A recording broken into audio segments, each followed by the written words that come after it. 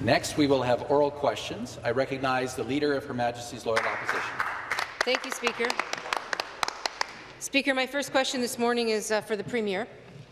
Over the last year, seniors in long-term care and the families that love them have been forced to endure horror after horror inside a broken long-term care system, largely controlled by for-profit corporations.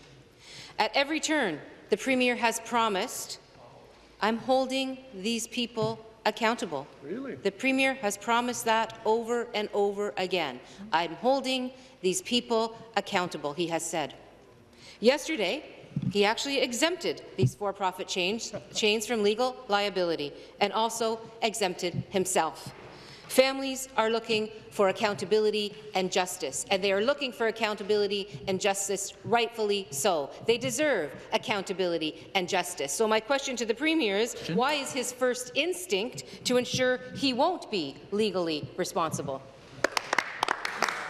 The Attorney General to reply. Thank you, Mr. Speaker, and I, I welcome the chance to give some context and to clarify because I don't think that the member opposite has actually read the bill, Mr. Speaker, because what the bill does not do, the bill does not protect bad actors. The bill does not prohibit anything to do with failure to provide necessities of life or deliberate failure to, for standard of care or fraud or fraudulent misrepresentation or assault or battery or any number of things that are being alleged out there in the public sphere, Mr. Speaker.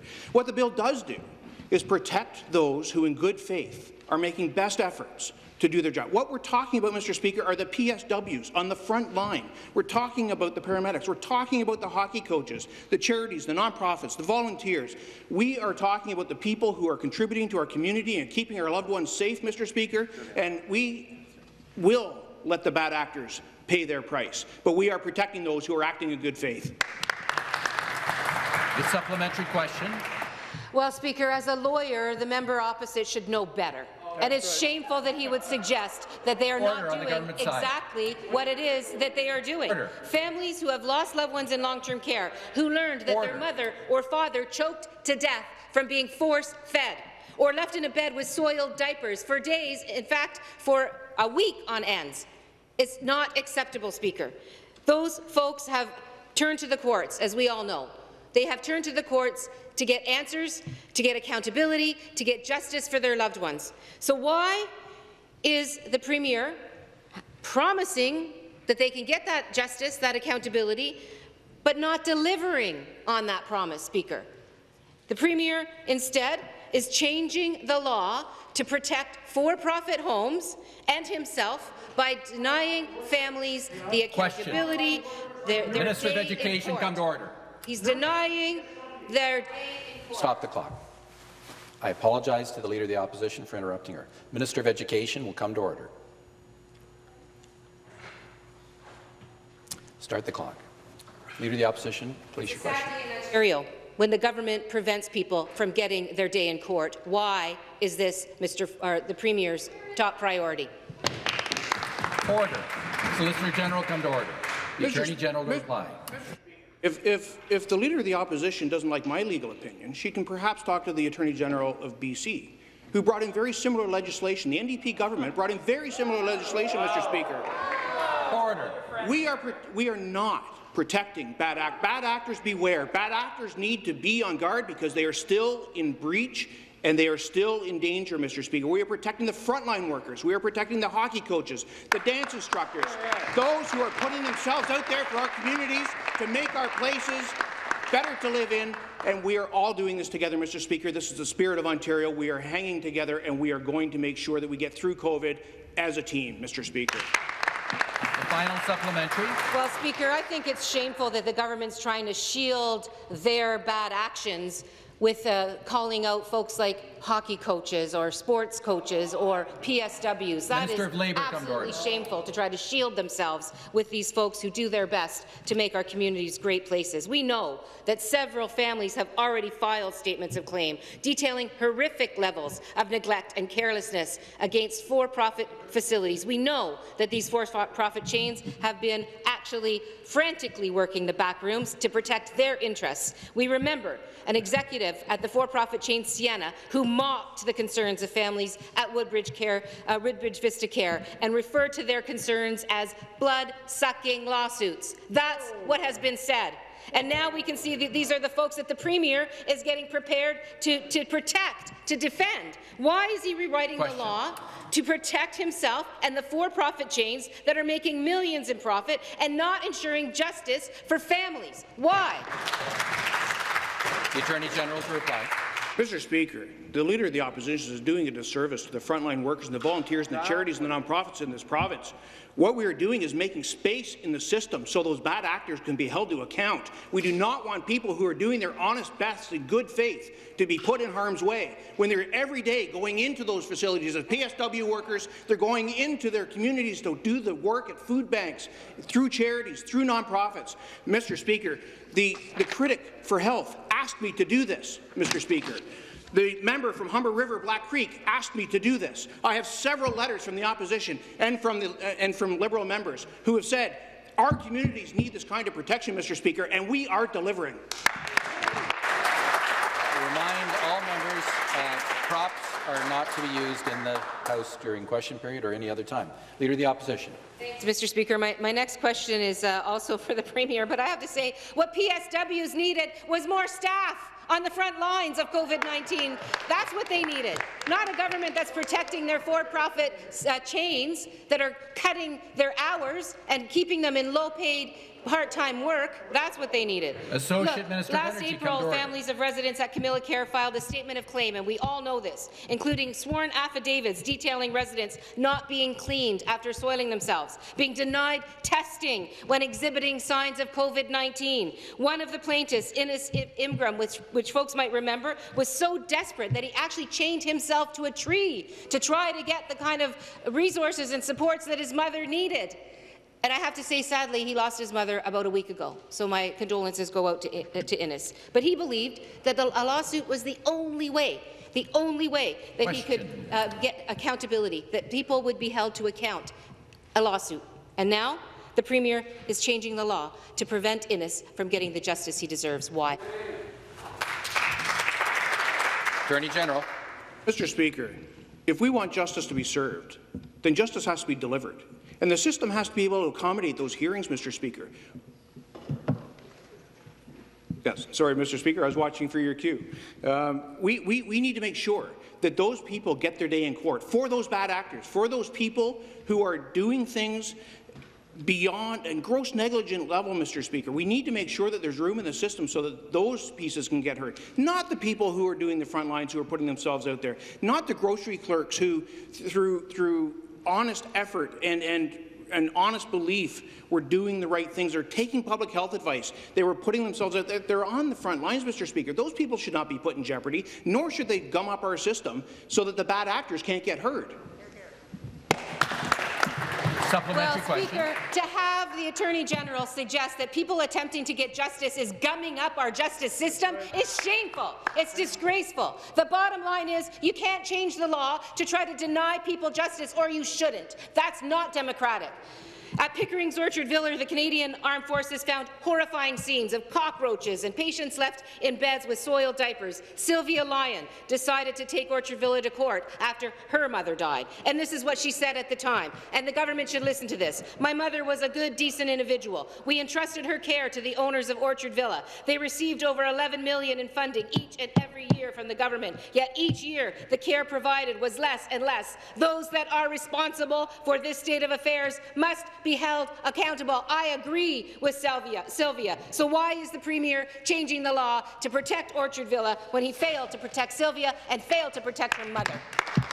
Remind members to make their comments through the chair. Attorney General to reply. Mr. Speaker, the question that the Leader of the Opposition needs to ask herself is very simple. Were those people following public health advice? Were they taking the advice? Were they implementing the advice? Were they doing it in good faith? Were they making an honest effort? Were all those things true? Were the people working in that system, should the PSWs, should the, the healthcare workers, should the, the grocery store clerks, should the hockey coaches who are putting themselves out there, the, the dance instructors who are working with our kids so that they can get physical exercise so that there's mental health components. This feeds all the way through, Mr. Speaker. Should those people who are making an honest effort in good faith be thrown into harm's way? Leader of the uh, Opposition. Speaker, I would submit to the member opposite that those are questions for the courts to decide. Those are questions for the courts to decide, not for the government to protect its own friends for and Carleton, for-profit come order. corporations. That's what's happening here. Families have heard hollow promises from this Premier over and over again. Yet at every stage, even while the Premier talked about change, he has been working with connected Conservative lobbyists in the back rooms to ensure that for-profit companies making millions in long-term care, uh, making millions from long-term care, I should say, will be protected, and that there will be no accountability for residents and their families. Why is the Premier rewriting the law to protect for-profit corporations making millions in profits and not the seniors who lost their lives in long-term care and not their Question. family members that have experienced such horrors over this last several months? The Attorney General. Thank you, Mr. Speaker. We finally found common ground. I totally agree. These are issues the court should decide. But to stand here and prejudge is a little sanctimonious, Mr. Speaker. The Opposition come to order. Mr. Speaker, it is exactly for the courts to decide. It is for the courts to decide if people were acting with honest belief, if they, if it For the was opposition, good come to faith, order. if they were doing everything they thought they could do, if they took public health advice, they implemented public health advice, they put themselves out there in their communities. Should they have a level of protection? Yes, the courts should decide that. And Mr. Speaker, to stand here and rhyme off case after case after case without really having much depth of what people did or tried to do or where they took their public health advice is a little bit rich, Mr. Speaker.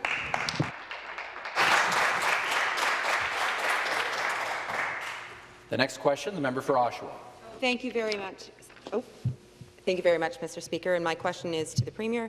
My colleagues and I have had the honour of working with Kathy Parks, a daughter who tragically lost her father, Paul, to the devastating COVID outbreak at the Orchard Villa long-term care home in Pickering earlier this year.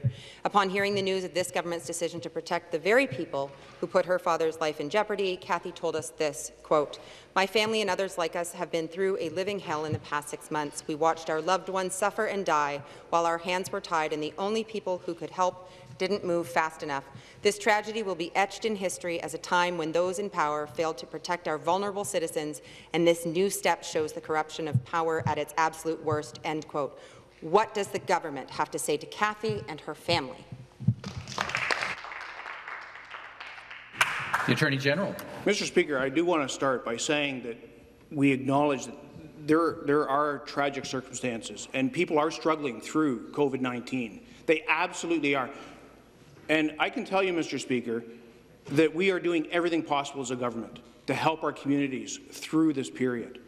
And I, I, was quickly checking my, my, various letters from the opposition asking me to bring in this legislation. Uh, I don't see one from the member who asked the question, uh, but several of her colleagues have expressed concern for people in their communities who want to contribute to the communities, who want to come forward and want to feel security that if they make an honest effort and they do it in good faith and they get public health advice and they implement that advice, that they have a level of protection that they can engage in their communities and that we can, Mr. Speaker, reach out and, and help in every way possible. Mr. Speaker, there are tragedies, and my heart goes out to them. Response? Mr. Speaker, we, we need to make sure that we're putting our resources where they can help the most, Mr. Speaker. And the supplementary. Again to the Premier, and I will submit that I have been standing alongside the families, as all of my colleagues have, in our communities, demanding justice and trying to get them the support that they need during this difficult time. And across Ontario, those families who have lost loved ones to COVID in long-term care are seeking justice. We have heard countless reports from families, residents, PSWs, and even the armed forces, who all detail the horrific conditions that allowed this outbreak to claim over 1,900 lives in the first wave. First, this government hid from accountability by refusing an independent public judicial inquiry. Now they're making laws to evade responsibility and duck liability. Speaker, private for-profit homes like Southbridge's Orchard Villa Long-Term Care, with a long record of orders, complaints and non-compliance, should not be allowed to operate with impunity. Why is the government trying to stand in the way of Ontarians like Kathy from holding these homes accountable? The Attorney General.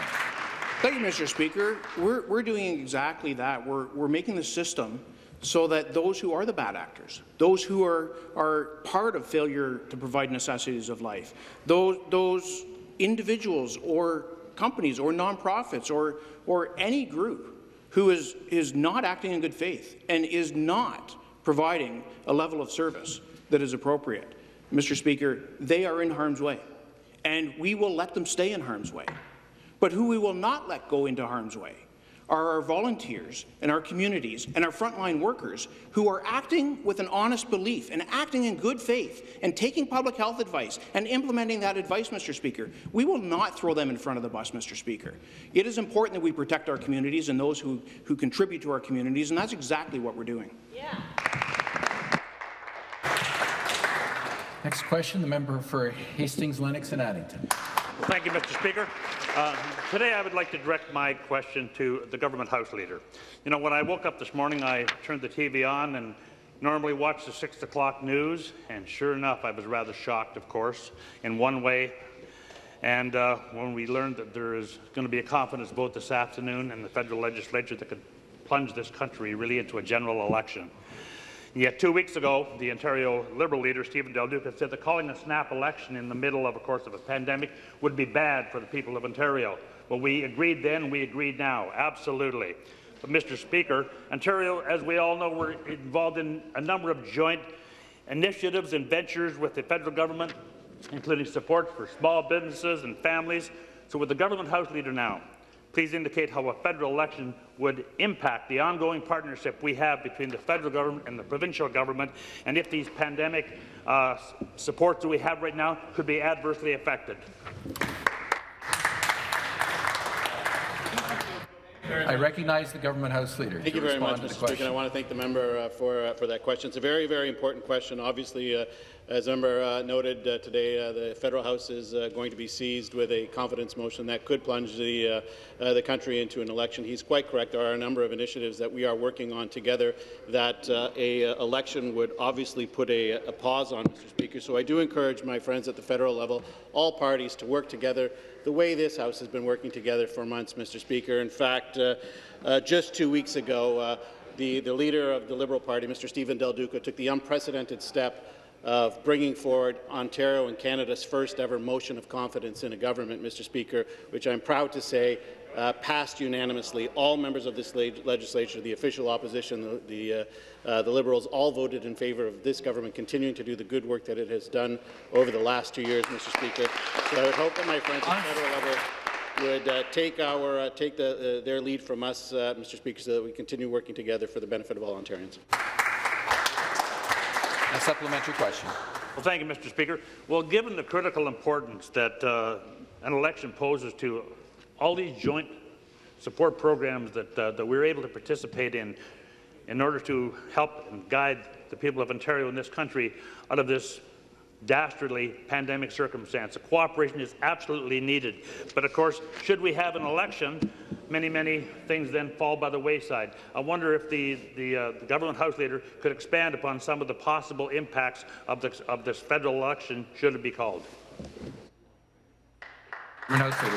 Uh, uh, again, thank, uh, thank the honourable member. Of course, Mr. Speaker, uh, across various ministries in, in, the government, there are a, a, number of initiatives that we are working together on, whether it's the Minister of Education, who has been working uh, to protect students, the Minister of Finance, who has been working very closely with his counterpart in, in Ottawa to ensure that protections for small businesses are are expanded, or the Minister of Health, the Minister of Long-Term Care. So across government, there are a number of initiatives that we have been working on together, Mr. Speaker, that would all be put in jeopardy if an election was held today. The member is quite right. A week ago, the leader of the Liberal Party said, right now we are in an unprecedented crisis due to the COVID pandemic.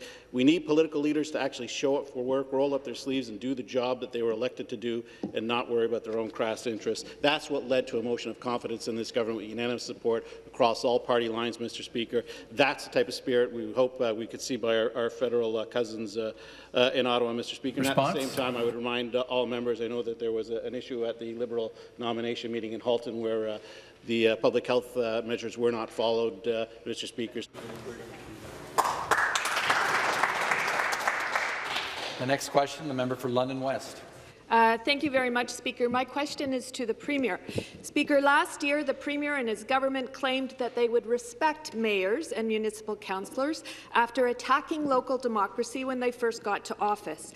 A year ago, the Minister of Municipal Affairs said, and I quote, our government stands firm in its commitment to partnering with municipalities without pursuing a top-down approach. Speaker, yesterday we saw that commitment dissolve into mush when the Premier slipped a provision into a bill that would take away the option of ranked balloting from municipalities. Can the Premier tell us which municipalities asked for this assault on their local decision-making? The parliamentary assistant, member for Thank you very much. Thank, thank you, Mr. Speaker. I just want to say it's uh, my first opportunity to rise, and it's an honor as a PA to be able to answer a question in this House. Uh, I want to I want to thank the member opposite uh, for that question, Mr. Speaker. I can assure this House that we're committed to enhancing consistencies in election process. Our government believes that it is important that the way people vote in a federal and provincial election is the same way that they vote in the municipal election. That's why earlier this year, Mr. Speaker, we responded to a request from the Chief Electoral Officer of Ontario and made changes to create a single voters list for both municipal and provincial elections, reducing the need to make correction on election day, shorten wait times, and save municipalities money, Mr. Speaker. Thank you. The supplementary question. Speaker, clearly not a single municipality asked for this change to be made. In London, where a historic and successful election was held with ranked ballots in 2018, councillors have denounced this interference. In the words of Councillor Morgan, allowing local communities to choose the way they elect their governments is a good thing for local democracy. A Kingston referendum saw 63% support for ranked ballots in the 2022 municipal election. A Cambridge referendum was supported by 56%. The City of Toronto voted overwhelmingly in favour of ranked ballots for the 2026 elections. In fact, one of the only objections came from the Premier's nephew. We are in a pandemic, Speaker. Can the Premier explain why he felt it was so urgent to undermine local democracy yet again and meddle in municipal politics? The member for Milton. Thank you. Thank you, Mr. Speaker. Mr. Speaker, we know that these changes would better respect taxpayers' dollars, Mr. Speaker. Uh, 443 out of the 444 municipalities, Mr. Speaker, voted using the first past the post system in 2018 election. The City of London was the only municipality in Ontario to have used the ranked ballot in Ontario, and their municipal election cost taxpayers, Mr. Speaker, an additional $515,000. That is 40 percent more than what it cost them in the previous election, Mr. Speaker. And guess what, Mr. Speaker? They Order. got the exact same Okay. Member for Timmins come to order. The Minister of Education come to order. The Minister of Labour come to order. The member for Milton, please wind up. Thank you very much, Mr. Speaker. As I was saying, and London got the exact same election result that they would have under the first past the post system, Mr. Speaker, uh, used by rest of Ontario. So the only thing this would do is bring consistency and save municipalities money, Mr. Speaker. Thank you very much. The next question, the member for Simcoe Grey. Uh, Speaker, I rise this morning to ask the Minister of Finance about the insanity that has become rampant in Ontario's uh, commercial insurance industry. I hear regularly from constituents about out-of-control premium increases being demanded by insurance companies, and in some instances, the outright refusal to renew contracts with condominium corporations that have had few or no claims. In the case of the Greenbrier community in Alliston, they saw modest annual rate increases in the period leading up to 2018. Then out of nowhere and with no claims, they were shocked to learn of their premium doubling to almost $60,000 in uh, $16,000 in 2019. Incredibly, it doubled again in 2020 to almost $30,000. Now, as a new year approaches, Greenbrier is looking at another potential doubling to $60,000, and that's if they can get the insurance at all. The story at the neighbouring Briar Hill condominium corporations is similar. Question? Speaker, most of these people are retired seniors, many on fixed incomes, In light of the near criminal behaviour of, criminal, of commercial insurance companies, isn't it time that the Ontario government regulate this industry? Minister of Finance to reply. So, Mr. Speaker, I thank the member for Simcoe Grey uh, for raising this important matter. Uh, since we've been elected, as this legislature knows, we've been keeping a close watch on all aspects of insurance, whether it's automotive or the sort of uh, insurance that the member's talking about today. Uh, certainly since the beginning of this pandemic, our message has been clear to the insurance industry, which is that they need to understand their customers today will be their customers tomorrow. Ontarians expect no less than, than fair treatment from them.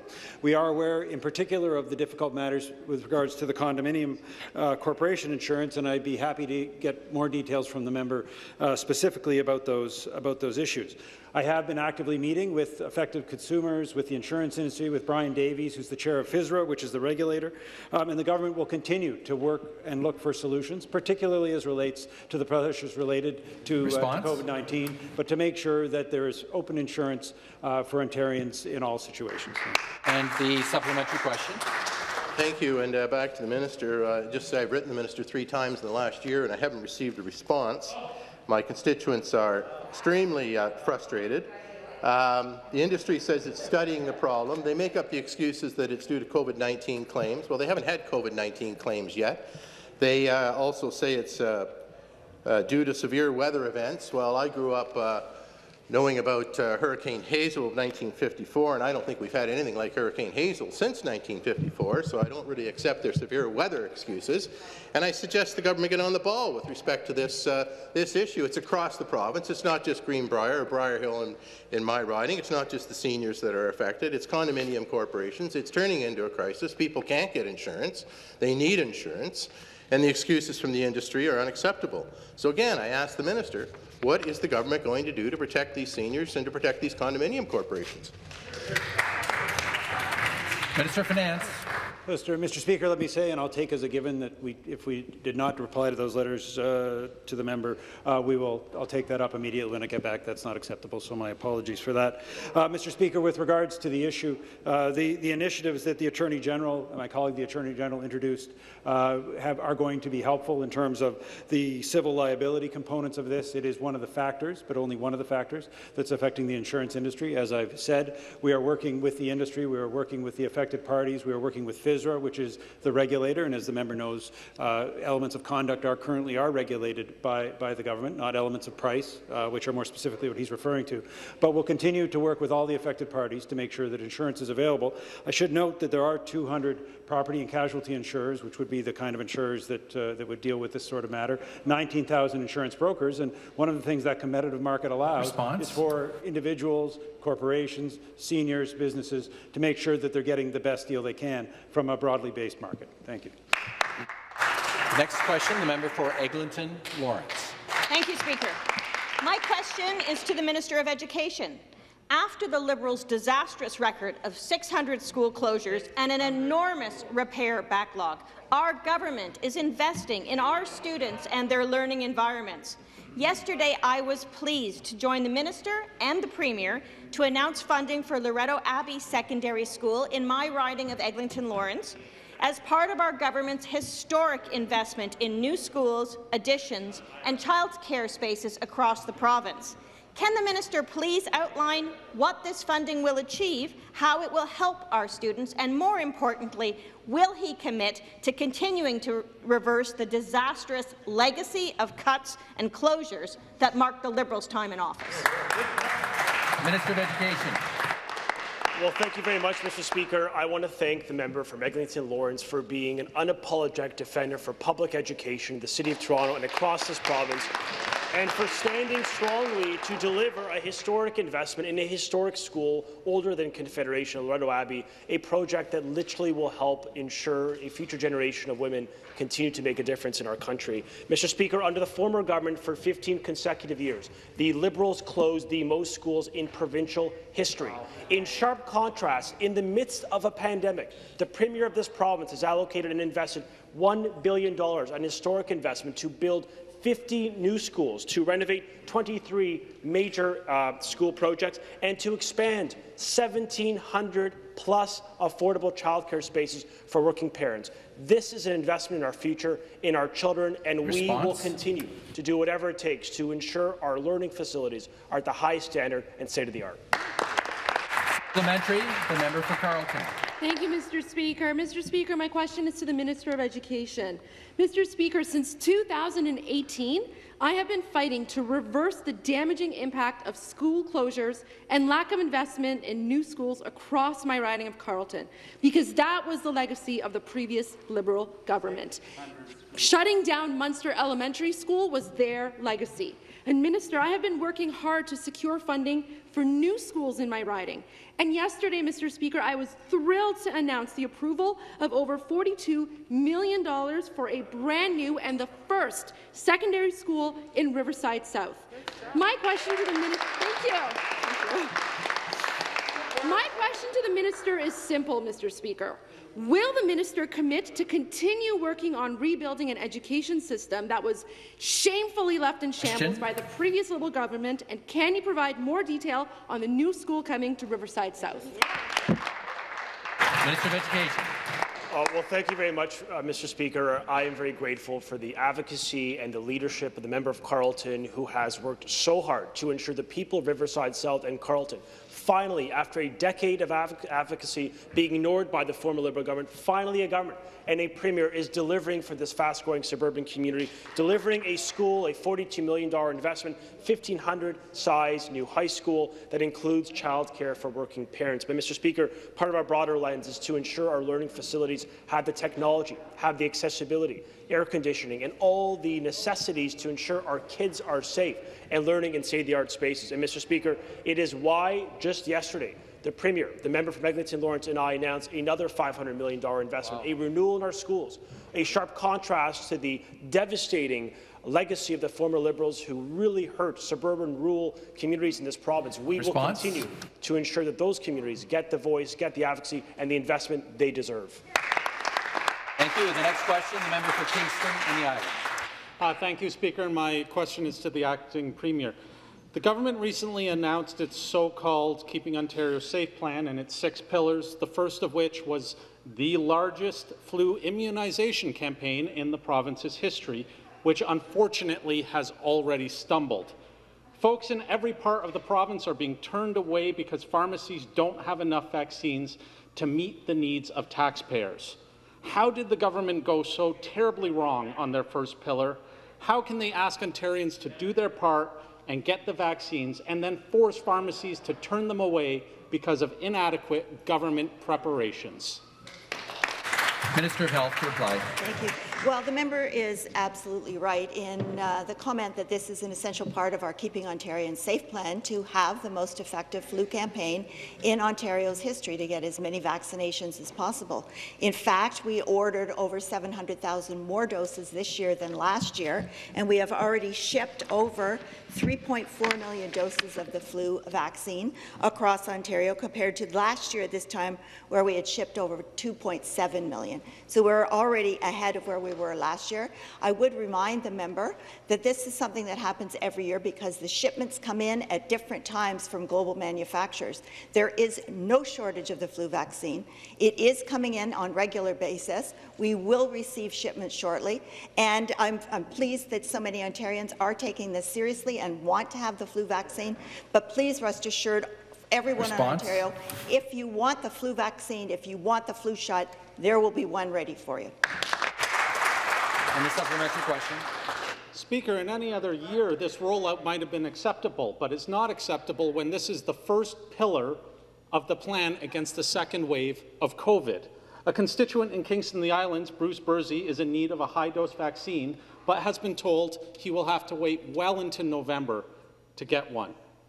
It's not just him, and it's not just in Kingston. Flu season is here in Ontario, but the vaccines we need to slow it simply aren't. Will the government acknowledge that the rushed out use of an existing plan for its first pillar is because they simply didn't have a second wave strategy in place at the time?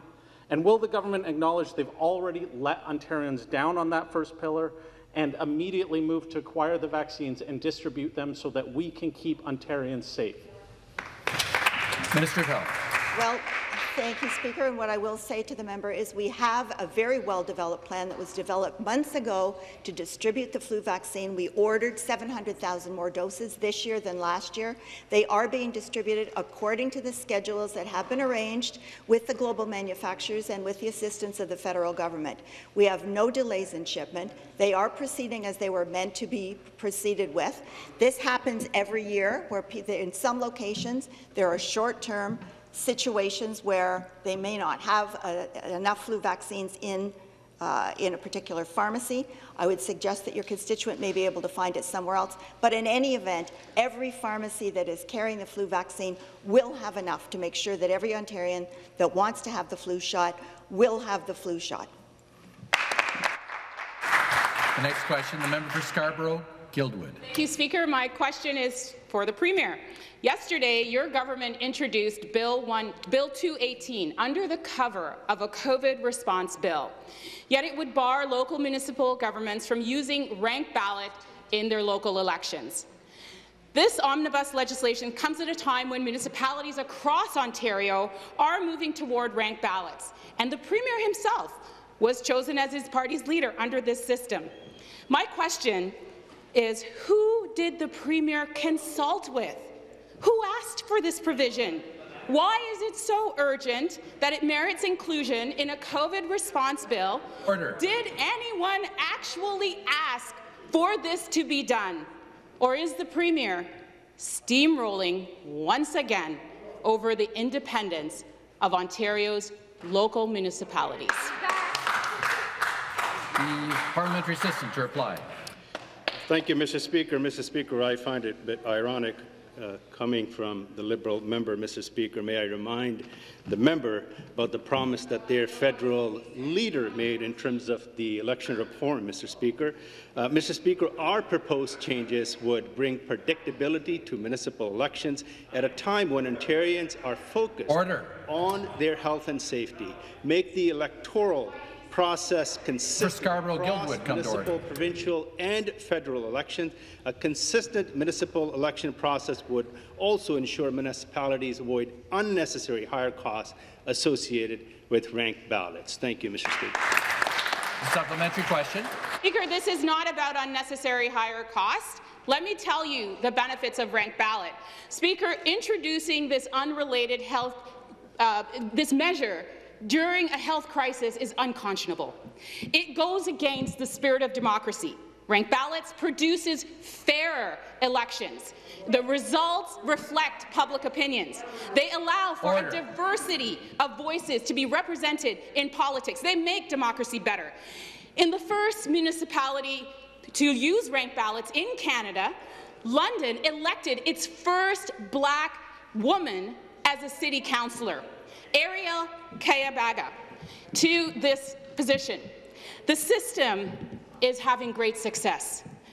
The procedural fairness of ranked ballot tends to work against groups like this government who benefit from and perhaps prefer the status quo. Question. This government won a majority in an election with first past the post with just 40 percent of the popular vote.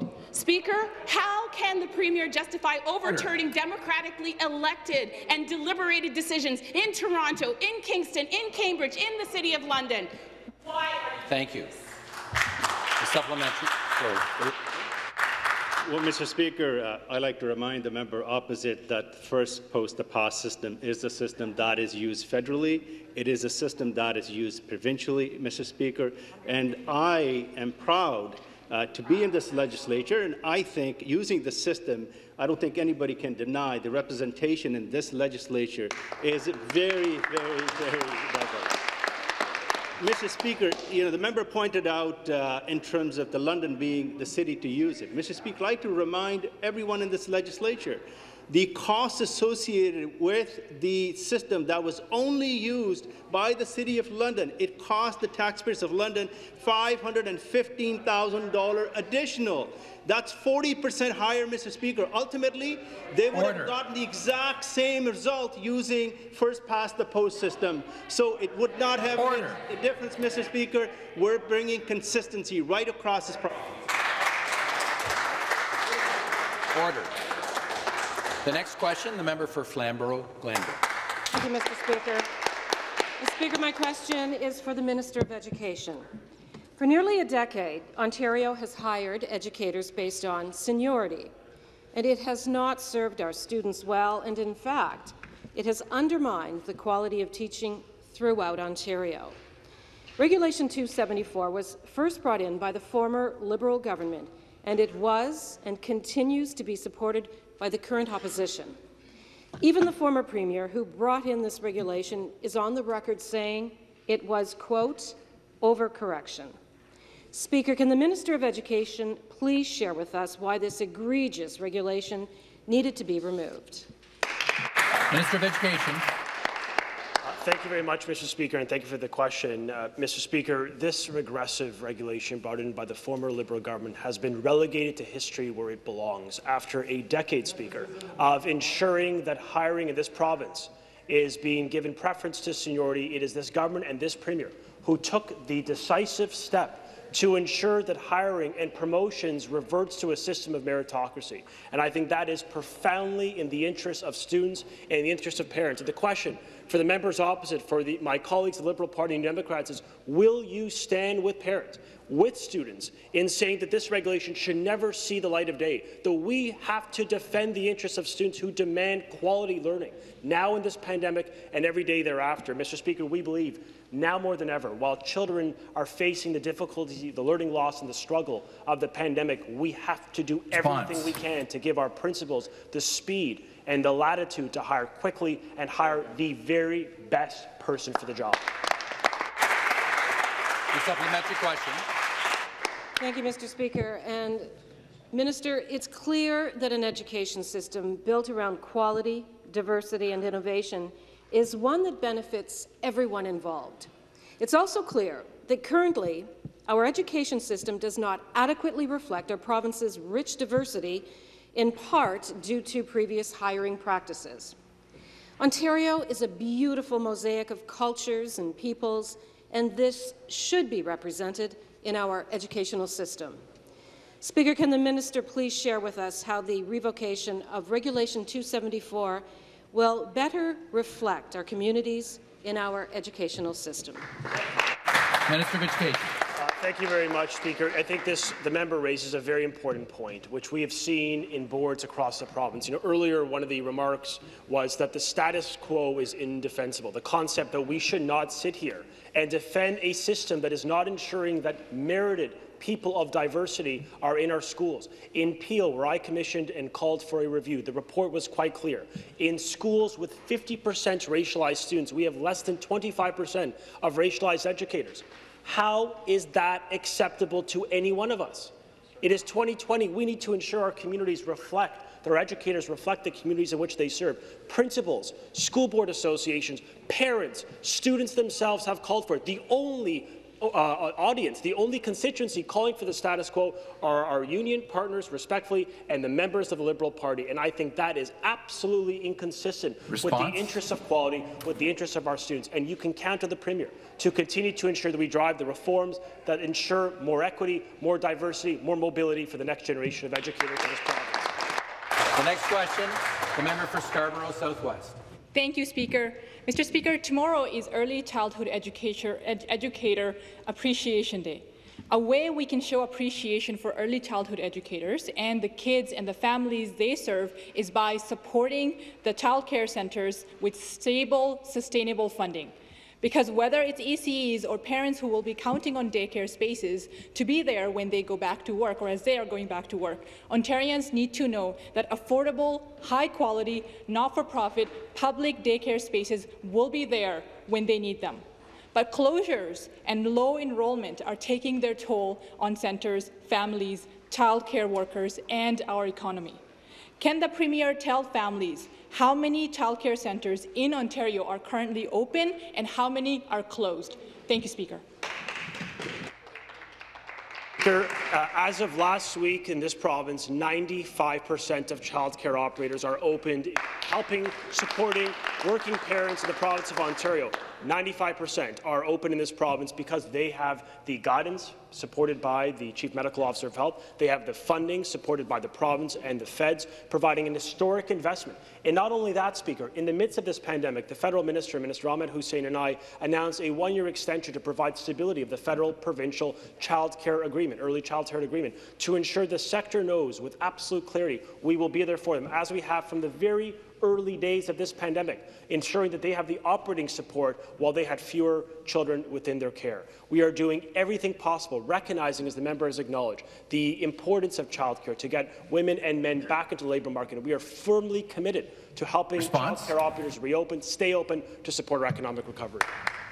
And the supplementary question. Mr. Speaker, any working family with young kids know how essential daycare is to ensuring parents to ensuring parents can work and kids can get high-quality, affordable care. That is why New Democrats have fought for licensed, high-quality, affordable, not-for-profit childcare for decades. This pandemic has thrown this into sharp relief. It's not just parents who know this is more essential now than ever. In September, the Ontario Chamber of Commerce highlighted the fact that a recovery will require ensuring childcare can, and I quote, weather the pandemic. Now, so I ask again, how many spaces, not centres, how many spaces have closed since the pandemic because we're hearing otherwise, and what will the minister do to reopen them? Thank you, Speaker. Minister of Education.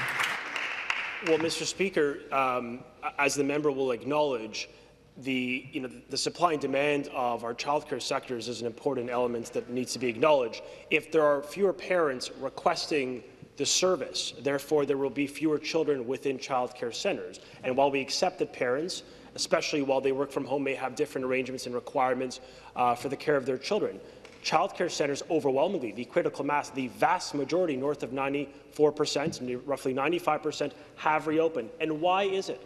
that they have done so because the government has provided them with funding each and every step of this pandemic. We just announced an additional $230 million infusion in our childcare operators. But, Speaker, when it comes to the affordability of childcare for the end user, for the parent, we introduced in this House a childcare tax credit because after 15 years, respectfully in the former government, we had the most expensive childcare in Ontario. Response? And yet the opposition, when having an opportunity to support 200,000 working parents, they voted no. And I would hope that they will continue to reflect in the forthcoming budget about how we can make childcare more affordable, more accessible for parents. Thank you very much. The next question, the member for Ottawa South. Thank you very much, Speaker. My question is for the Minister of Long-Term Care. Today, there are 86 homes in Ontario in outbreak, seven with double-digit resident cases. Yesterday, the Globe reported that Ontario's testing backlogs are preventing long-term care homes from quickly identifying COVID-positive 19 residents, therefore increasing the risk of the spread of COVID-19 in the home. So, the last two days, it was 24,000 and 30,000 tests, well below our capacity, also with a backlog that was about the same as the tests that were done that day. So, those are the facts. So, a fast turnaround of tests is critical to preventing and managing outbreaks in long-term care homes. So, after seven months of being in this pandemic, why has the Minister of Long-Term Care failed to ensure, failed to prioritize testing for residents in long-term care homes? Thank you, Speaker. Minister of Health. Thank you. Well, I can uh, thank you very much for the question. I can certainly assure the member that we recognize how important testing is. That's why we're investing over a billion dollars in increasing our testing ability, our contact tracing, and following up with people who have been testing positive. We are placing a priority on our residents and staff in long-term care homes because those are the most vulnerable residents that need to be protected, as we do with hospitals and retirement homes and other places of congregate settings. But we also have to remember that testing is driven by the number of people who show up for tests. So the testing has gone down in the last few days because not as many people showed up for tests. That doesn't mean we can't test more. We are at the stage now where we can easily test more than 40,000 people per day. But if 40,000 people don't show up to be tested, we test who's there. The important point is that anybody who wants to have a test will get a test and will get a timely response. Order. Order.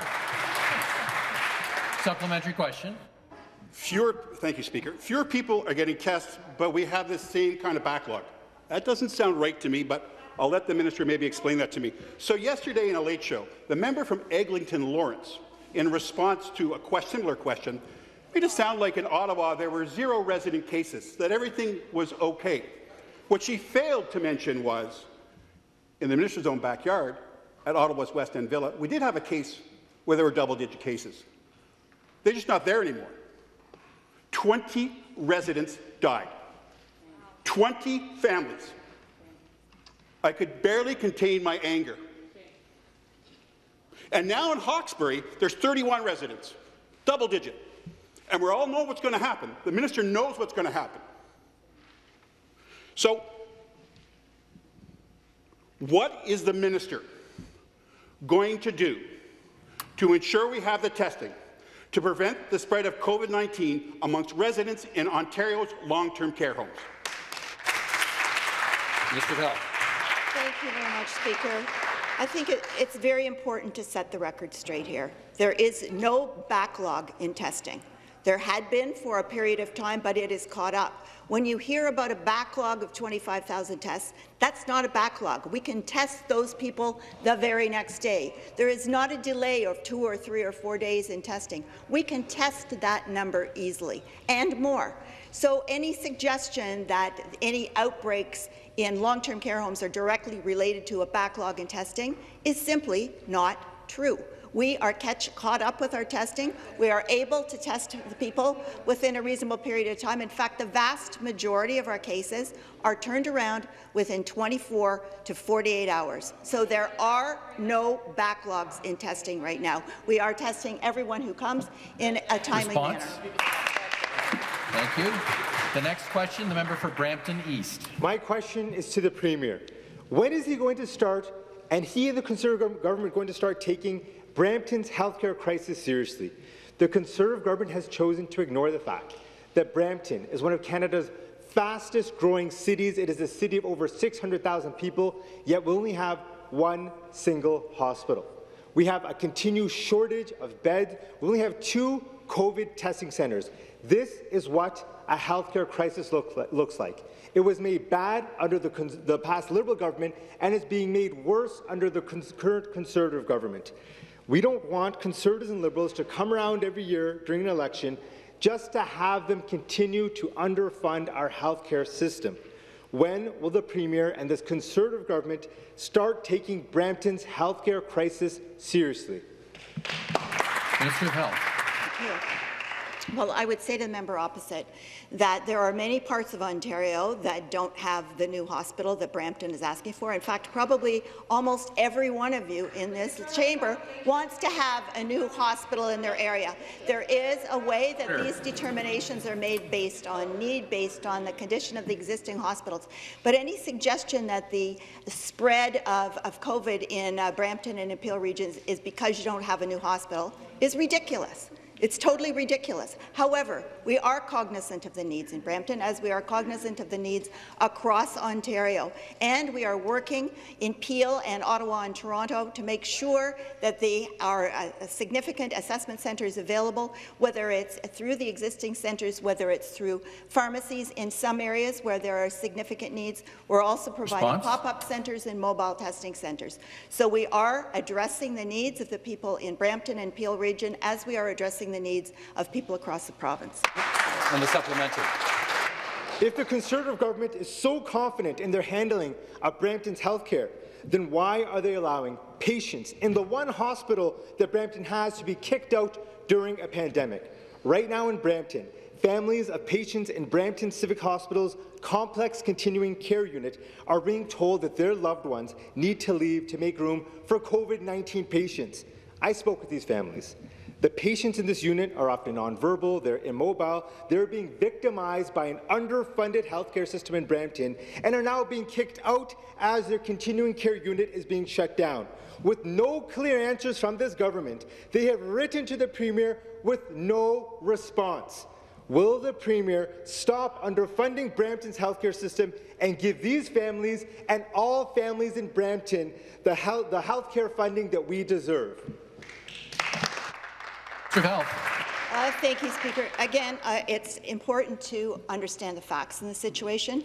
No one who is in a hospital that needs to be in a hospital is going to be kicked out. We are making sure that we are expanding our capacity uh, in Brampton and Peel region and across the province for an increase in COVID-19 patients, for an increase in patients who may come to the hospital because of flu, and to be able to continue to do the surgeries and procedures that had to be postponed during wave one. We are making that capacity. We are not kicking anyone out of a hospital that needs to be there. What we are doing is increasing capacity so that as we more and more people are admitted to surgery and are admitted to hospital because of COVID-19, because we know that's happening, that we will have the facilities available for anyone who needs to be in hospital. Member for Glengarry Prescott Russell. Mr. Speaker. Mr. Speaker, my question is to the Premier. In May of this year, over five months ago, I asked the government to cap food delivery service commission fees at 15 percent to help restaurant owners during government-imposed restrictions that have forced them to rely entirely on takeout orders for their operation and survival. Other jurisdictions have already capped these commission fees at 15 percent, and they did so months ago. Our restaurants need our support, and they need it now. Real support, Mr. Speaker, not photo ops of MPPs ordering takeout or the Premier asking delivery companies to please, please, please reduce their fees. Will the Premier finally do the right thing and cap food delivery commission fees at 15 percent during these restrictions, yes or no? Minister of Finance, reply. Mr. Speaker, I thank the member for her question and, and appreciate, as I said yesterday, all the suggestions that we can get, including this one. She notes, as you did, that the Premier did from the podium, uh, with some effect, uh, suggest that these, these companies reduce their fees, and in fact, some did as a result. But, Mr. Speaker, we have a broader-based approach uh, to supporting our restaurants, to supporting our small businesses. The Minister of Small Business and Red Tape Reduction uh, introduced a program, $60 million, Mr. Speaker, to support the purchase of PPE, the $1,000 per, uh, per, uh, per business. Of course, in affected areas, Mr. Speaker, we've introduced a program, $300 million to cover electricity bills and other bills. And, Mr. Speaker, I do think that uh, the member may call them photo ops, but, but that it is important as well that we send the message uh, through our actions as well as through our words that we should all be supporting local restaurants, whether it's by takeout in the areas that are affected and no longer have in-room dining, or Response? in the other areas of the province by enjoying a good meal with your favorite, in your favorite restaurant. Thank you. Supplementary question. Thank you, Mr. Speaker, and I thank uh, the minister for his answer. Mr. Speaker, back uh, to the Premier. We're now well into the second wave of this pandemic, and still the government is slow to respond. Delays in decision-making, coupled with contradictory and confusing messaging from this government, is costing people and businesses big time. The recent lockdowns in Toronto, Peel, and Ottawa came into effect the night the announcement was made, costing restaurants tens of thousands of dollars worth of food and labour. There was absolutely no time to, for businesses to prepare whatsoever. Zero. It was one thing to scramble in the spring when this was new, but now, eight, uh, seven months in, completely unacceptable. When will this government start respecting small business owners and give them at least some notice to ensure they can prepare, organize, and mitigate loss? Their survival depends on it. Minister of Finance. Mr. Speaker, I, I, don't see how the, the, members of the Liberal Party can simultaneously be saying this government needs to follow public health advice and then criticize the government when it follows public health advice. We've always said that we will make, take the steps that are necessary to make sure that the health and safety of Ontarians are regarded, and we will do that in a way that balances economic interests. That's why, with the recent announcement with regards to York Region, some additional time was allowed, and I think that was, that was an important modification. Mr. Speaker, some other things that we've allowed, uh, very popular, and in fact, the leader of the, uh, the member's party suggested the delivery of alcohol, uh, support for patios, Uh, Mr. Speaker, there are many, many measures, and we will continue to take those measures to support our small businesses, and I'll look to the members across the aisle to support those measures when this government brings forward in our upcoming budget and when we bring them forward otherwise. Thank you. The next question, the member for Nickel Belt. My question is for the Premier. Last week, a court decision fined South Lake Regional Health Centre $100,000 after the hospital pleaded guilty to two of seven charges under the Occupational Health and Safety Act. The hospital did not keep their workers safe, and now a registered nurse has had her life changed forever. According to the Ontario Nurses Association, this is one of many acts of violence that have resulted in devastating injury for staff at South Lake. Does the minister feel that the system worked, that the two charges against the South Lake Hospital will result in safer workplace for healthcare workers? The Minister of Labour. Well, thank you very much, and I uh, thank the member opposite uh, for this question. Uh, first, uh, Mr. Speaker, let me begin by uh, thanking all of those healthcare workers uh, across this province who have been fighting every single day to protect families and communities during the COVID-19 uh, pandemic. Furthermore, I also extend our condolences to any worker who's been injured on the job or who have suffered uh, violence or harassment uh, in the workplace. Uh, Mr. Speaker, uh, the laws are crystal clear uh, in this province, and uh, as a government, we will not tolerate uh, any violence, any harassment uh, in the workplace, and one uh, injury is one too many for me as minister. The supplementary question. Speaker, the minister has to connect the dots on this issue. Union, professional association representing nurses, and other frontline healthcare workers have been ringing the alarm bells for years.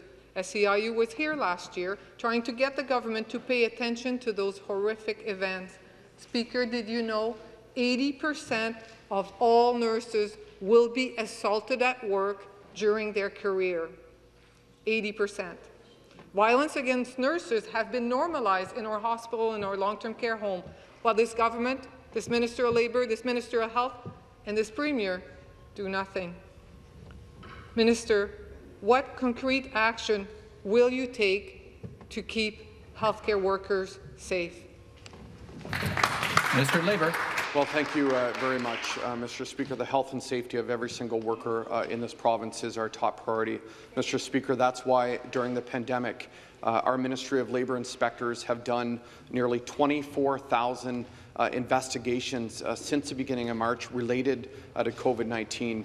Uh, Mr. Speaker, we've uh, issued over 22,000 orders to uh, improve work sites and job sites across the province to protect uh, uh, all workers in uh, every type of business. Mr. Speaker, during the pandemic since March, we've actually shut down nearly 40 workplaces, again to protect the health and safety of every worker. And I'm extremely proud uh, that I was able to join uh, the Premier just two weeks ago to announce that our government is moving forward with hiring nearly Response. 100 new Ministry of Labour Training and Skills Development inspectors and uh, I'm also proud to say, Mr. Speaker, that that will be a record number of labour inspectors in Ontario's history. That concludes the time for question period this morning. This House stands in recess until 3 p.m.